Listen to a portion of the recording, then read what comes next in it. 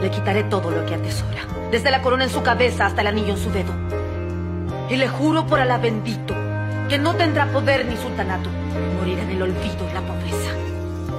Porque sé que es su mayor temor.